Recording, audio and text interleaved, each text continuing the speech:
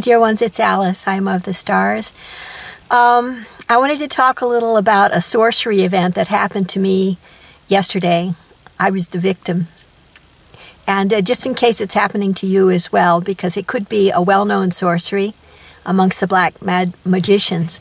And uh, the purpose of it is patriarchal domination, which is the way that the world has been tending in the last uh, bit of this long dark age that just passed, um, and that is towards domination of the world by men, and women not having truly any say in the astral realm. Over and over again uh, since 2012, I have noticed um, married couples and significantly paired couples on on the as astral uh, hearing plane um, talking together and and and in uh, subconsciously talking together, and it's always the man in the relationship telling the woman what to do or say, and and invariably in these situations, the woman has no um, private voice of her own, no no voice at all in the fourth dimension. This is something that is changing now as women become aware of the fact that they have uh, ceded their free will to the men in their relationships. Um, they're becoming finally coming out of a kind of trance state where the man does everything and tells them to do everything. Uh, to me, it was pretty scary because um, I do believe in free will. I believe this is a free will planet, and I believe that all beings here have the right to free will. And so here I have been observing for some years now that about half of the human beings on Earth, all the women, apparently uh, have no voice whatsoever in the emotional realm. So that's changing right now. And what is coming in during September, I feel, uh, it, although it may not be completed in September, uh, it has to do with total opening of the heart chakra and energization of the uh, human electromagnetic field, and that this will result. One of the results that will will occur is that um, men and women will know how finally to relate to each other from a purely uh, um, unconditional love perspective. And this means not only that they will join together in both friendship and in more intimate relationships with total energy of their hearts, and that they will be able to withdraw that energy and balance back their hearts into um, into the singular electromagnetic field configuration uh, whenever they want to. So um, they can be two can be one, or each can be one at, completely at free will. This is what's being worked on right now. I have to say that the energetics are rather spectacular in this build up towards the um, September events that will be occurring, the light waves that will be coming in. And so, getting back to what happened yesterday,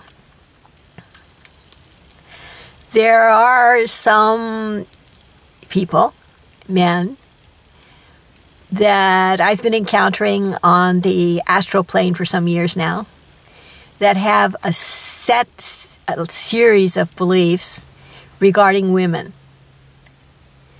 Sometimes I think in the past I've tried to track these energy threads down.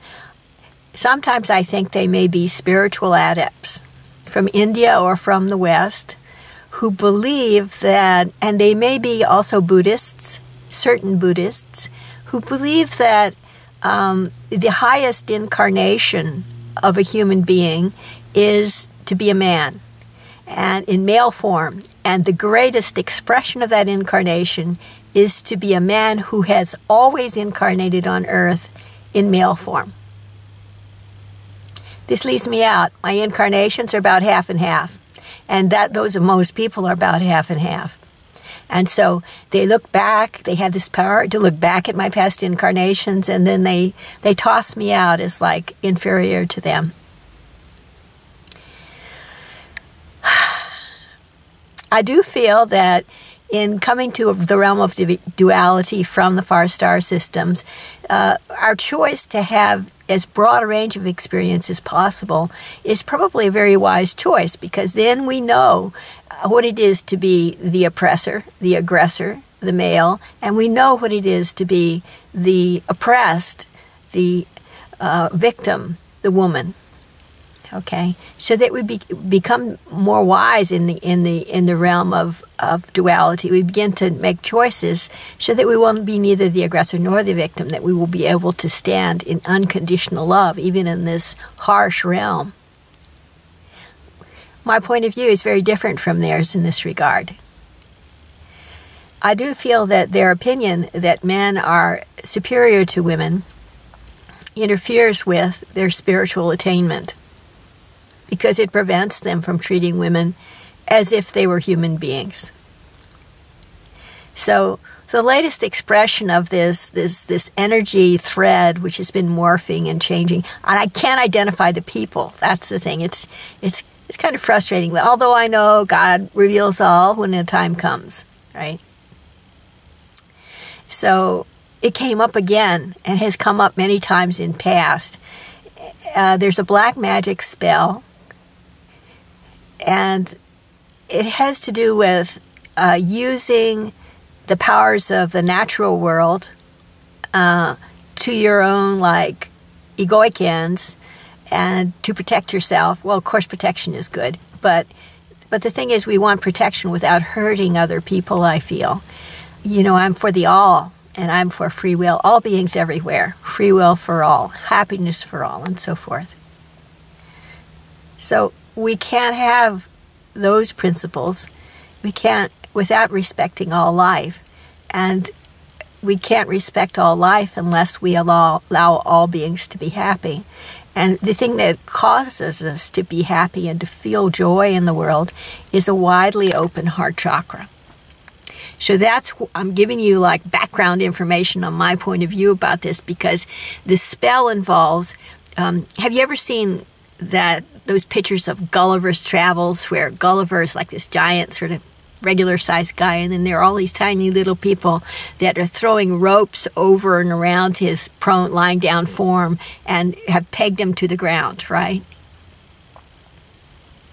So, so the ropes look like spider web, webs really on Gulliver because compared to these tiny little people in the Lilliputian realm, he's like really huge, although he's really just a regular sized person, right? And it's like this. That's what the that's what this black magic spell is like. It's like um, um, the nature spirits, while a person is sleep, a woman is sleeping, are being employed to like stitch little tiny gossamer ropes all over her heart chakra to like stop it from expanding.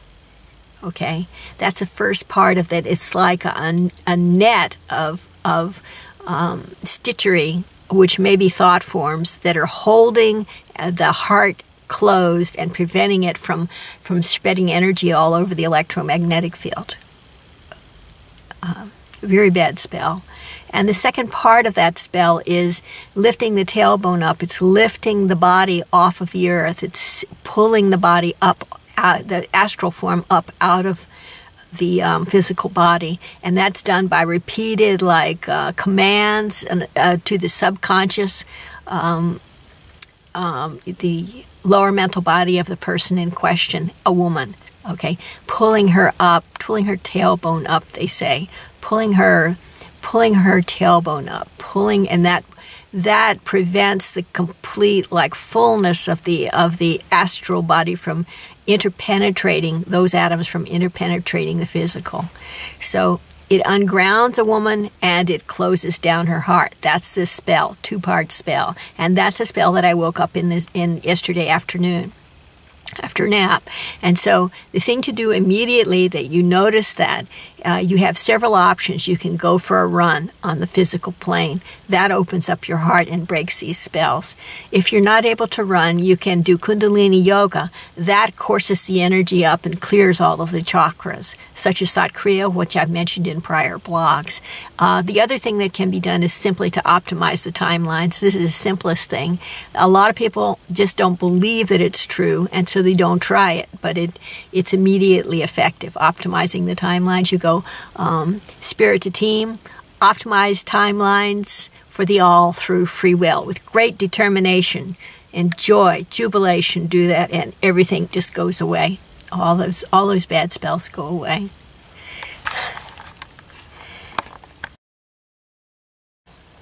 So the other thing that I found, I woke up. It had been I'd fallen asleep under purportedly um, a healing session with a with a, a, man who is who is a great healer, and I could feel like all my chakras being rebalanced and like that. I, so I thought, fine, it's it's safe to take a nap. So I took a little nap, and when I woke up, all this Lilliputian thing was going on and like that, and it seemed to me that a black magician had stepped into uh, to to change my energy field after the healer had stepped out most unfortunate, right? And the other thing I heard is uh, this person, this like imitation person, I said, "Why did you do this? Why did you? Why did you uh, try to shut down my heart? Why did you try to unground me?" He said, "We." We want to bind you down to the earth. And I'm going, this can't be good. and I said, Why is that? Why did you try to do that? And he said, We found out that your sole purpose is to destroy the sole purpose of all human beings on earth. And I'm going, Say what? Repeat that? it's like, you know, okay, just in case, you know, I go, Spirit to team, um, optimize sole purpose for the all through free will. so, so if you find yourself in that bind of being uh, like judged, judged very harshly as a person who is the antichrist or the anti um, uh, humankind person or like that, just do whatever it takes with your team to make an adjustment in that realm. We can't make other people believe that we're human as women. Okay? We can't make the men believe that but we ourselves can keep our hearts open no matter what they're thinking. And the good thing is, now in September and in the months that follow, it seems to me, it appears to me through intuition, that what will be changing is this attitude of men. This attitude of men that women are evil, uh, like uh, Lilith's people, that they, the legend of Lilith, or that they are inferior, uh, and that they drag men's spirituality down through their sex- unbridled sexuality, or the feeling that they are um, that they are simply objects and not really people at all, something for men to manipulate in uh, in their game of life, in their game of competition with each other, joyful competition. Another thing that will be changing coming up right after that is women's notion that other women are competition for them. So that women can, after that, after this clearing happens for them, they can join together in joyful celebration of sisterhood. That's going to be great. So, uh, so we'll welcome to the fireworks. Y'all take care. I'll talk to you later. Love you lots.